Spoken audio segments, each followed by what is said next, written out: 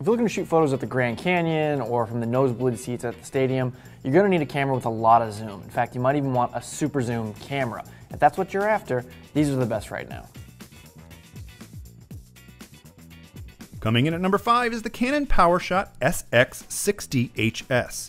The 65x zoom lens on this camera makes it one of the most powerful super zooms on the market, and that huge zoom makes it an excellent option for capturing everything from group shots to distant wildlife.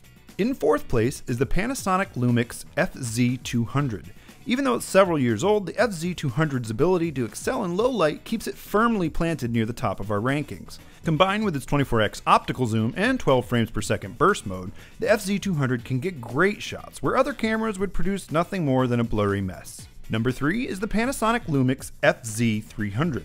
The FZ300 has everything we love about the older FZ200, but includes the ability to shoot 4K video and offers a dust and splash proof body, making it a fantastic upgrade to an already great camera.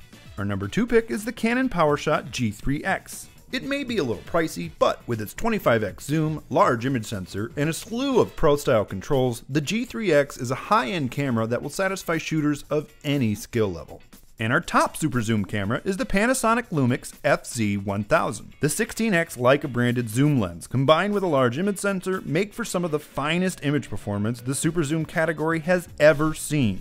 Anyone that's looking for a simple, flexible, do it all camera, the FZ1000 is a superb value.